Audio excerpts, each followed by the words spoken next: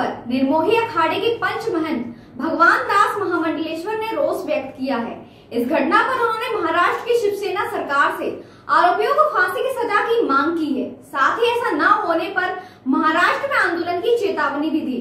उन्होंने कहा कि अगर दोषियों एवं पुलिस पर कड़ा एक्शन नहीं लिया गया तो साधुओं की टोली लॉकडाउन खुलने के बाद महाराष्ट्र में आंदोलन कर देगी, जिसमें जूना अखाड़ा और निर्मोही अखाड़ा सहित देश के तेरह अखाड़ों के साधु संत एकजुट होकर प्रदर्शन करेंगे।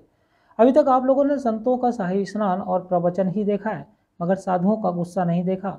और अगर इस घटना में सरकार कड़ा एक्शन नहीं लेगी तो महाराष्ट्र सरकार को साधुओं का प्रकोप भी दिखा दिया जाएगा।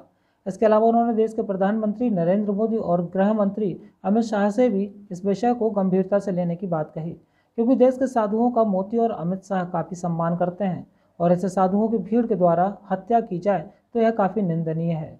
हमारे संतों में बहुत ज़्यादा आक्रोश है। यहाँ तक कि कोरोना वायरस से लॉकडाउन लगा हुआ है, इसलिए संत महात्मा अपने अपने आश्रमों में बैठे हुए इंतज़ार कर रहे हैं कि महाराष्ट्र की सरकार क्या निर्णय देती है। ऐसे कांड करने वालों को फांसी जैसी सज़ा देनी चाहिए।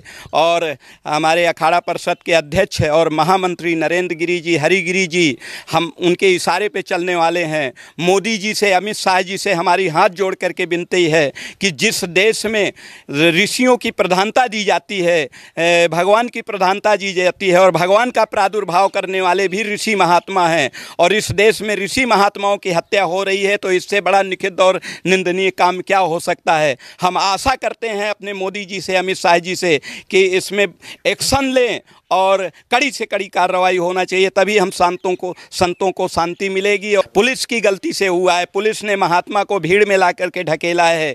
इनके साथ भी कड़ी से कड़ी कार्रवाई होना चाहिए। देश की रक्षा करने वाले भक्षक बन जाएँ तो उनके साथ कौन सी कार्रवाई करना चाहिए, ये सरकार जानती है। छतरपुर से सुशील सेभारे की report. Education with moral values. The only institution with all latest facilities. Computer lab, science lab, experienced teachers. Air conditioned hostel with all facilities. The best educational institute in the area. The Gramoda International College. Chansi Road, Mauranipur.